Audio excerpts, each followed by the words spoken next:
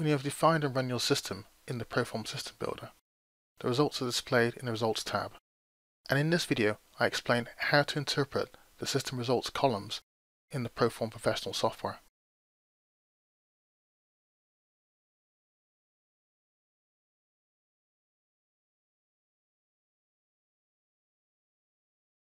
In most technical fields, professional statisticians are troubled by lack of data.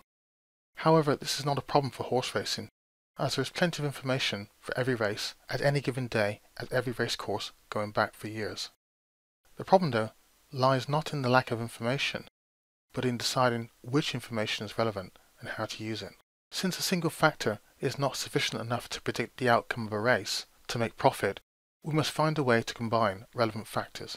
Of course, extremely important factors should be given more weight than those that are merely significant. This is why a knowledge of statistics can be very useful to punters.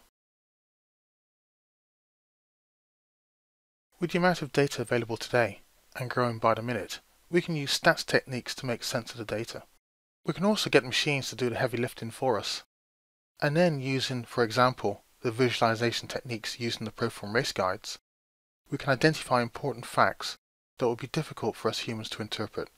Finally, instead of gut feel or intuition, we can use empirical evidence to arrive at a decision, but also use this time and time again to further our decision-making process in what may seem a very complex problem to solve, i.e. finding the winner of a horse race.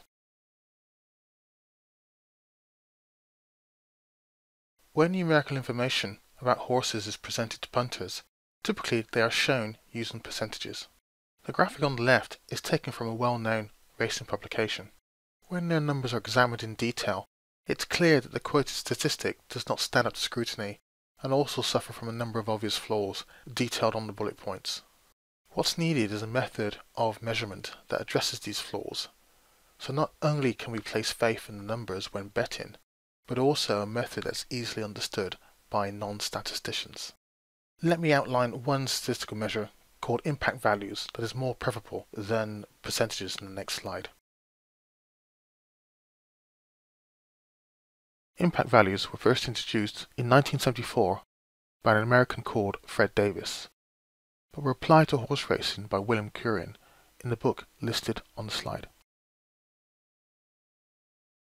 An impact value is an index and is calculated using this formula. From the result of the calculation, a value of 1 would indicate horses with a particular characteristic, with no fewer or no more than those without that characteristic. A value below 1 is indicative of underperformance, and a value greater than 1 suggests a performance above expectation. Let's see how impact values are used in the Proform System Builder.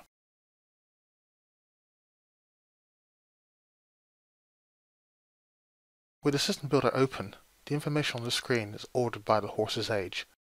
And for the moment, how we arrived at this system is not important for the purposes of this example. Impact values are displayed in the results line here and are calculated for you automatically. So in the output from our example system, 3 year-olds have an impact value of 1.14, which is 0.14 above 1, i.e. 14% better than normal. If we look at the strike rates in our example system, the percentages for horses aged between 4 and 7 are very close. However, note the impact values for this group is below 1, indicated underperformance under the system conditions. Notice also how the impact values gradually decline with age. This fact may be significant and one that the betting public will be unaware of, which is an edge that you can exploit and highlights how by using impact values we can base our decisions on a solid foundation of statistics as part of our selection process.